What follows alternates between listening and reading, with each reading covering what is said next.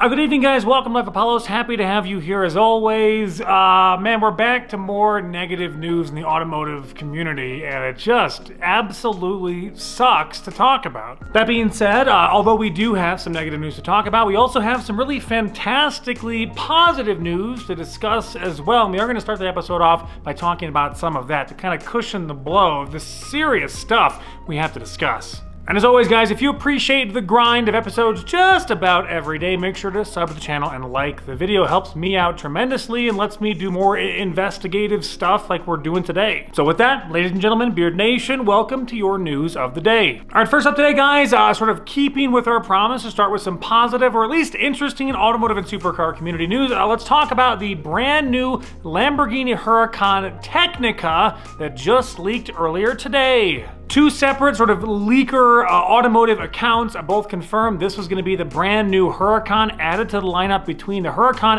STO and the Huracan Evo, sort of slotted right in between. The picture you're looking at right now, guys, you can see exactly what it looks like. Got a bit of a wing on the back, sort of a baby wing, and the front of it looks like it's been semi-inspired by the Lamborghini Sián. Now, as far as we know, guys, the actual unveil uh, and sort of uh, more engine specifications, all that kind of jazz is going to come out tomorrow, April 12th. So make sure to sort of keep your calendars bookmarked for that. Uh, what's weird is when I initially saw it, I was like, man, like I feel like, you know, the front looks interesting. I like the Lamborghini Sián's front look, but I don't know, the entire thing just feels a little bit underwhelming. Maybe they've squeezed some uh, extra crazy amount of power out of the sort of legendary V10 that's in the Huracan right now. But let me know what you guys think about this. Reactions are definitely mixed across the board. Some people absolutely love it. Some people are just like, give us a new platform already. Last question I want to make sure I ask you guys about this. Of the three sort of newer Huracan models, uh, the Evo, now the Tecnica, and then we're talking, of course, about the STO, which one would you rather have? Do you want something that can just kind of cruise around like the Evo, or do you want the full track focus with the STO, or something in between? Put in the comments below, and on to our next story. And speaking of Lamborghinis, guys, uh, Stradman, brand new video from him. Wow, unexpected Dreamhouse updates. We're not going to talk about the Dreamhouse updates. Uh, we've been doing that for years now at this point. We are going to talk about a comment that he made about potentially bringing a third Aventador to the channel. Uh, as you guys know, he's got uh, more than one Aventador right now, and apparently a possible third one coming very, very soon. What do you guys think about that? Would you rather see him buy another car? Uh, what's super interesting is, is that apparently there were a number of different Ferraris that he almost bought over the last like 60 days or so, but uh, apparently could not come to a, a price agreement with the people he was talking to. There's like a 20 or $30,000 difference. I believe it was an 812 in Largo that he was looking at buying, but maybe a third Aventador is in the cards. What do you guys think? And are you liking all of the house updates more so than even the car stuff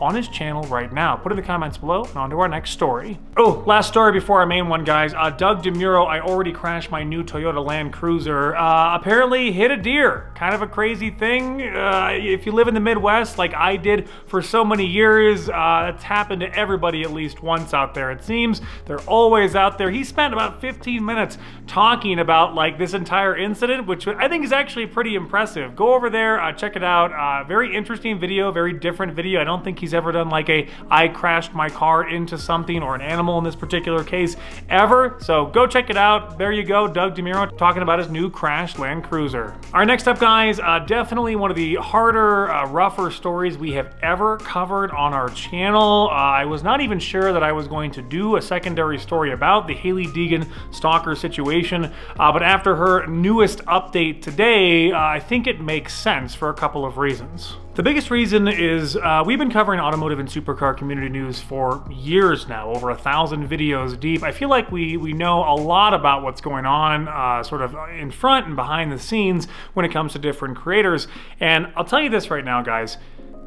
Female creators in the automotive community put up with stuff that would just be unfathomable to most people's uh, sense of what's going on. We're of course talking about stalkers and creepers and people that are professing their love for different creators on a daily basis. And uh, of course, we're just talking about automotive creators today, but this uh, creepiness, this stalkerish behavior, it definitely extends to genres uh, across pretty much everything. It's not just the automotive community. All right, so getting back to Hailie Deegan for a second, guys, um, she put up an update earlier today that basically discussed in short form that ever since her big video went live talking about the situation with her uh, and Chase case that things have gotten significantly worse. Watch this clip. So before we get into today's video, I want to touch on the last video a little bit and just honestly say thank you for like the overwhelming love and support. Obviously, I'm not gonna go into grave detail of a lot of the stuff going on because it's still being dealt with and it has gotten worse since that video. Taking every precautionary measure to be safe. Obviously, uh, the fact that the situation has gotten worse is awful for, uh, for Hailie and Chase, and I think it's just uh, one of the more disturbing things that I've ever been exposed exposed to in the automotive community.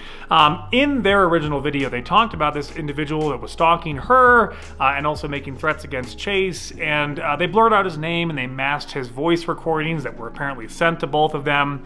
Uh, and then uh, one of you guys actually sent me this individual's TikTok and Instagram account. So we're also gonna blur everything out here, guys, but uh, I wanted you to see how many videos this person has made. There are hundreds upon hundreds of videos all of them, literally all of them, are basically addressed to Hailie Deegan and are variations of him sort of pouring out his emotions uh, and love for Hailie Deegan eh, on TikTok and Instagram. Now, the reason why we sort of uh, showed you guys sort of a window into what was happening was to give you an idea of the severity level that Hailie Deegan is dealing with uh, with this individual.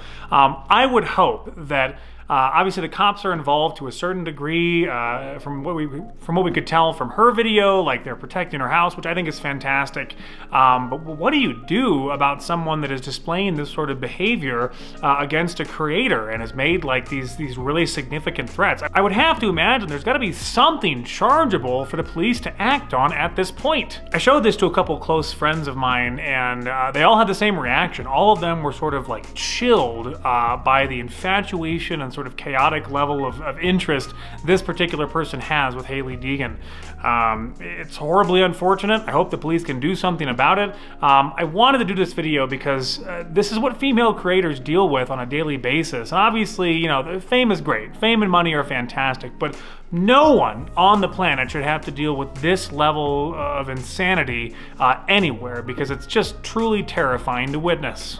Anyway, I realize this was definitely a darker story to cover, guys, but every once in a while I think it's important to talk about the really serious issues affecting creators that we care about, creators that we enjoy on a daily basis. Just an absolutely horrifying situation, and hopefully the police can do something uh, so this ends in a relatively peaceful way. Next up, guys, I want to cover uh, two other fun stories to not leave you on such a rough note concerning that other story. Let's talk about Kidd in a Sweet Shop, guys. Brand new video out, driving a Koenigsegg CCX R edition on the road and the track. Uh, as you guys know, Kidd in a Sweet Shop, one of my favorite new channels. We've been talking about it, slinging the praise everywhere possible. Uh, fantastic quality, extraordinary cinematography, and always incredible cars. Today we're talking about Koenigsegg's. The other day we're talking about like seven McLaren F1s all in the same room. Uh, something that might not ever get repeated again. Go check out the video, guys. Fantastic stuff. Add Kidd in a Sweet Shop to your subscription list. You will be so happy that you did. And finally today, guys, uh, kind of a different story for you. Actually, just sort of getting the word out about another female creator in the automotive community, Emelia Hartford. So over the last couple weeks, she's actually been looking to hire for her team. She's been looking to hire a very particular set of skills. Uh, right now, they're looking for a mechanic who has experience building custom performance vehicles the way we do. Must be in SoCal full-time, race experience preferred, someone thorough and knows basic fab and customization. There's a $1,000 referral too, so even if you're not that person, but you can get someone uh, in that particular realm to work with Emelia Hartford, there's some cash in it for you. Uh, these sort of situations don't come up all that often. It's not like YouTube teams normally normally are that large. Uh, but if you know somebody that can be a good fit for Emelia Hartford's channel, make sure to go out and do so and get the word out there any way you can. Good luck to Emelia Hartford in finding a brand new team member. And folks, that's all I've got for you guys today. Uh, thanks so much for tuning in again today. I feel like it's always rough to talk about these really serious situations, uh, but I appreciate you guys popping in here. Uh, welcome to all of our new subscribers we've gotten over the last couple days. There have been a lot of you, and we're happy to have you here. I promise that not every day is as rough and as serious as today, uh, but when we do cover it, we try to do our absolute best and sort of keep it to a standard that's appropriate and sort of good for the automotive community. Anyway, hope you guys have a fantastic rest of your day and start to your week, and uh, make sure to drop me a line on Instagram if you have news tips, guys. Best possible place to reach me. And with that, ladies and gentlemen, make sure to stay safe, sane, and healthy. Ignore the haters because they are plentiful and hilarious and totally not worth your time. That's all I got. Take care. Bye.